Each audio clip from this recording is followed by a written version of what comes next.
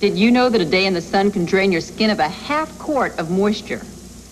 Skin Science Update from Vaseline Intensive Care.